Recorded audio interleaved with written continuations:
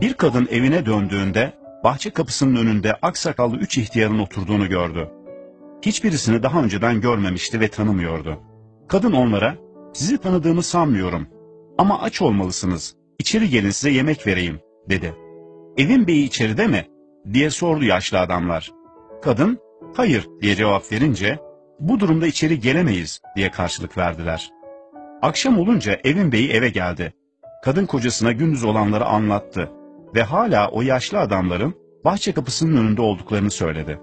Adam, şimdi evdeyim, git onları davet et, içeri gelsinler, dedi. Kadın gidip yaşlı adamları eve davet etti. Biz bir eve genellikle hep birlikte girmeyiz diye cevap verdi yaşlı adamlar. Kadın bunun nedenini sordu. Yaşlı adamlardan biri diğerlerini göstererek, onun adı zenginlik, diğerinin adı başarı ve benim adım da sevgi dedi. Ve, şimdi git ve kocanla birlikte karar verin.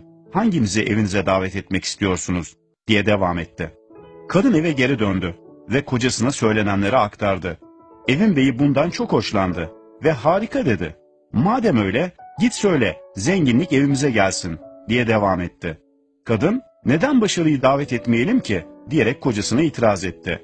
Evin gelini evin diğer bir köşesinde bu tartışmaları duymuştu. Hemen atılarak sevgiyi davet etsek daha iyi olmaz mı diye sordu. Evin beyi gelinin dediğini yapalım. Git sevgiyi içeri davet et. O bizim misafirimiz olsun dedi. Kadın tekrar dışarı gitti ve yaşlı adamlara hanginiz sevgi ise biz onu içeri davet etmek istiyoruz dedi. Sevgi ayağa kalktı ve eve doğru yürüdü.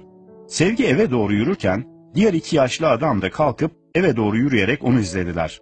Kadın şaşırdı ve zenginlik ve başarıya dönerek özür dilerim biz sadece sevgiyi içeri davet etmek istedik dedi. Siz neden geliyorsunuz ki? İki yaşlı adam şöyle cevap verdi.